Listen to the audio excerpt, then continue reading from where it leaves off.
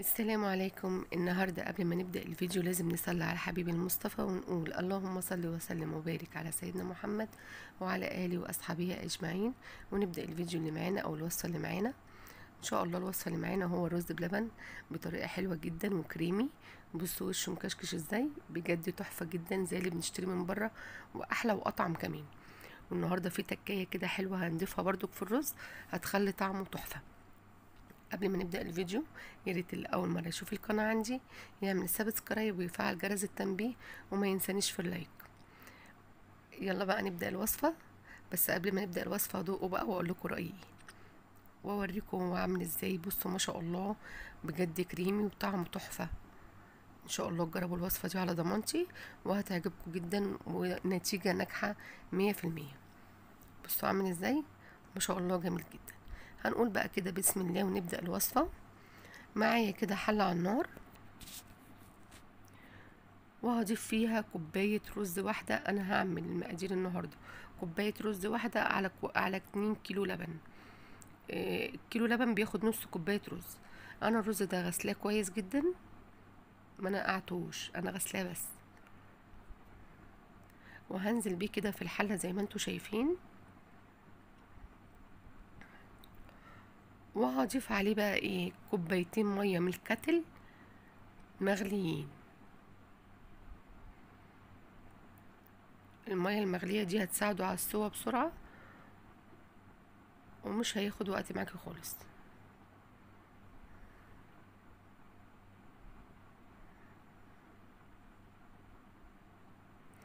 هغطيه بقى كده واسيبه يغلي وتعالوا نشوف اللبن اللي معانا.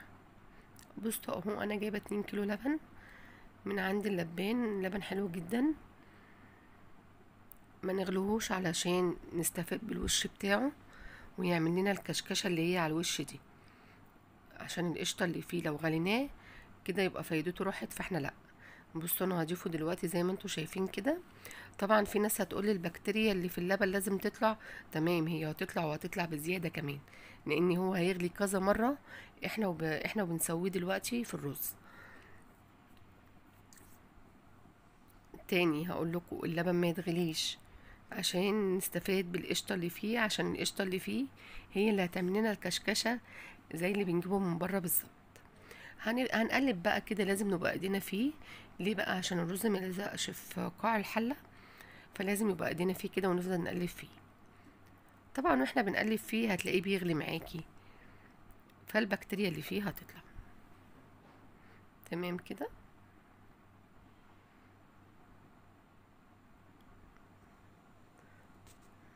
هقلب بقى فيه كويس.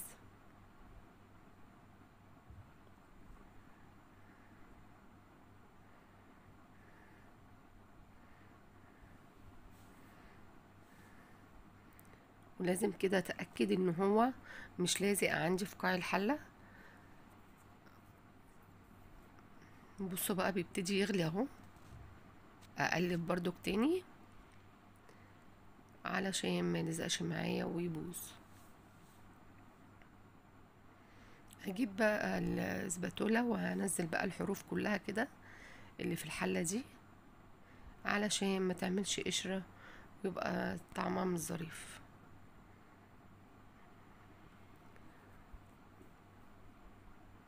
بصوا بقى بيغلي إزاي. هقلب برضك عشان ما يفورش مني. لازم اقلبه كده كويس. كل ما تقلبي هتلاقي الفوران ده نزل معاكي.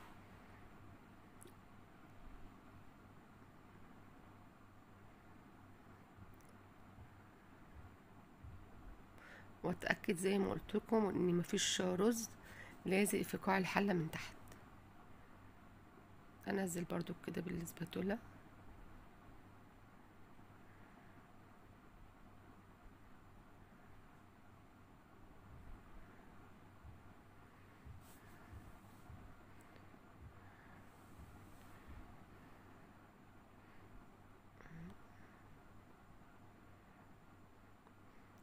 بصوا بقى عامل إزاي.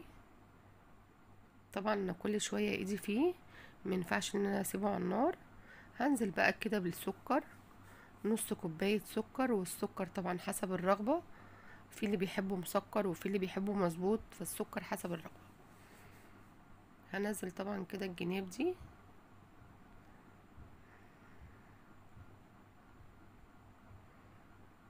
بصوا عامل إزاي؟ بجد ما شاء الله جميل جدا.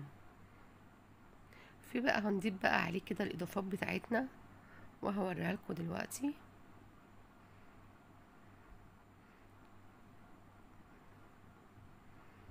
معايا طبعا قشطة وأنا بفضل القشطة اللي بطلعها من اللبن لأن بتبقى دسمة وحلوة. تمام هاخد أربع معالق.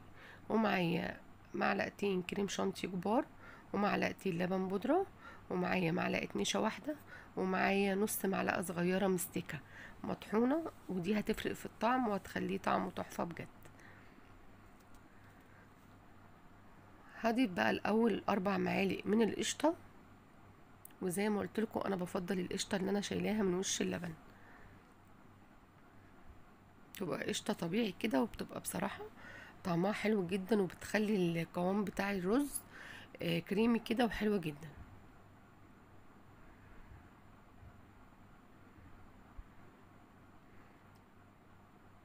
هقلب بقى كده بعد ما حطيت الأربع معالق بتوع القشطة. لحد ما يدوبوا معايا.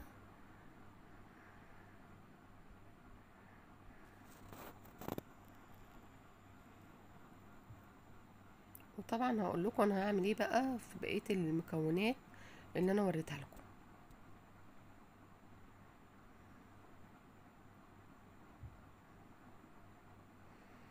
أهم حاجة بس تعملوه بنفس الخطوات اللي أنا بعمل بيها دي. والنتيجة هتطلع معاكم ناجحة زي ما شفتوا معايا في أول الفيديو.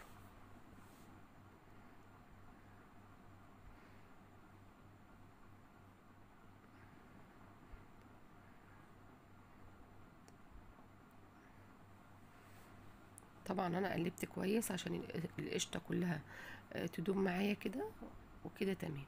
نروح بقى نشوف هنعمل إيه في المكونات اللي أنا وريتها لكم. معايا كده كوباية لبن.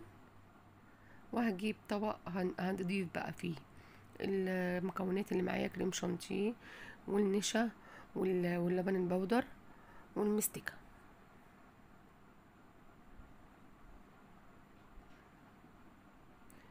بعد بقى ما ضفت الحاجات دي كلها هبتدي أقلبها كده بالمضرب وهنزل بكوباية اللبن. هحط الأول شوية وأقلب.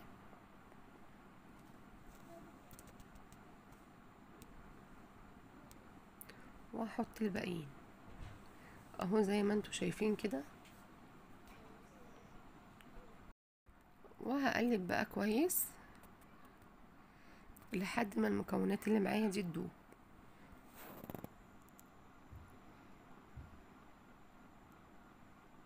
خلاص كده.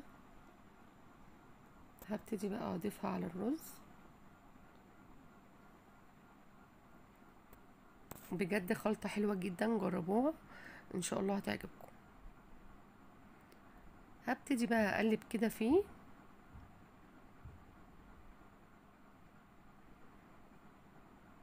في ناس ما بتحبش تحط نشا وبتكتفي بالرز النشا بتاع الرز. بس المعلقة دي مش هت يعني مش هت مش هتفرق كتير. لكن هتطعم الرز وهتخليه حلو. أنا حاطة معلقة واحدة بس ومش كبيرة. يعتبر معلقة ممسوحة كده بس. بصوا بقى بيبتدي يبقى كريمي. بجد حلو قوي ما شاء الله.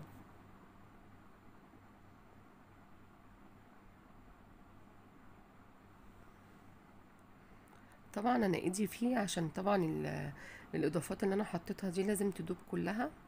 بص حبات الرز استوت خالص ما شاء الله. وده يبقى دوب كده معايا.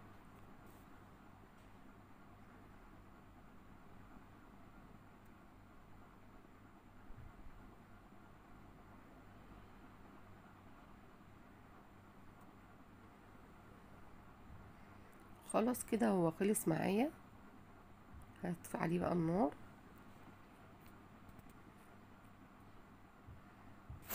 ونشوف هنعمل إيه. أنا كده معايا العلب ديت. حلوة جدا بغطا وحلوة جدا. بدل بدل ما أنا أجيب اطباق مثلا والفها باسترتش لا العلب دي حلوة جدا. بتتباع في كل مكان دلوقتي. اللي مش متوفر عنده طبعا يحط في اطباق ويلفها باسترتش بعد ما تبرد. عادي برضو مفيش أي مشكلة. بصوا عامل إزاي؟ ما شاء الله كريمي جدا.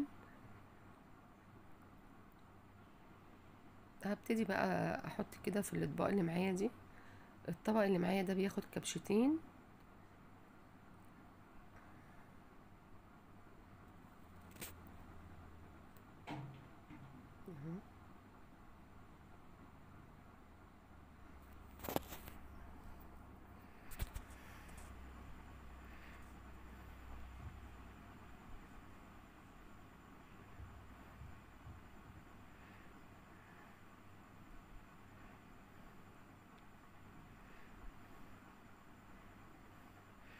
بجد لازم تجربوا الوصفة دي لأن حلوة جدا وهتعجبكم بأمر الله هخلص أنا بقى كده زي ما وريتكم بقى الكمية وأرجع لكم. كده خلاص أهو خلصت. بصوا عامل إزاي. هسيبه بقى يبرد. وبعد ما يبرد هقفل بقى العلب دي زي ما أنتوا شايفين كده.